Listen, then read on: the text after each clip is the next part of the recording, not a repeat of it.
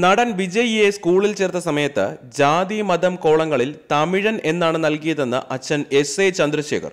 വിജയ് വിശ്വ നായകനാകുന്ന സായം എന്ന ചിത്രത്തിന്റെ അണിയറ പ്രവർത്തകർ പങ്കെടുത്ത വാർത്താ സമ്മേളനത്തിൽ സംസാരിക്കവെയാണ് സംവിധായകൻ കൂടിയായ എസ് എ ചന്ദ്രശേഖർ ഈ അനുഭവം ഓർത്തെടുത്തത്. ജാതീയത വിഷയമാകുന്ന സിനിമയാണ് സായം. സ്കൂൾ വിദ്യാർത്ഥികൾക്കിടയിൽ ജാതീയത എങ്ങനെ വേരൂന്നുന്നു എന്ന് ചർച്ച ചെയ്യുന്ന ചിത്രമാണ് സായം. സമൂഹത്തിന് ഉപകാരപ്പെടുന്ന സിനിമകൾ ചെയ്യുന്ന സംവിധായകരെ എനിക്കിഷ്ടമാണ്. പക്ഷേ ജാതീയതയിൽ നിന്ന് മുക്തരാവാൻ നമ്മൾ എന്താണ് ചെയ്യുന്നത്? എന്റെ മകൻ വിജയിയെ സ്കൂളിൽ ചേർത്ത സമയത്ത് അവന്റെ ജാതി മതം എന്നിവയുടെ സ്ഥാനത്ത് തമിഴൻ എന്നാണ് ഞാൻ എഴുതിയത്. ആപ്ലിക്കേഷൻ ഫോം ആദ്യം സ്വീകരിക്കാൻ അധികൃതർ വിസമ്മതിച്ചു.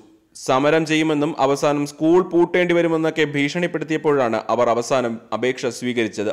പിന്നീട് അങ്ങോട്ട് വിജയിയുടെ എല്ലാ സർട്ടിഫിക്കറ്റുകളിലും ജാതി പരാമർശിക്കുന്നിടത്തെല്ലാം നിങ്ങൾക്ക് തമിഴൻ എന്ന് കാണാം. നമ്മളാണ് ജാതിക്ക് പ്രാധാന്യം കൊടുക്കുന്നത്.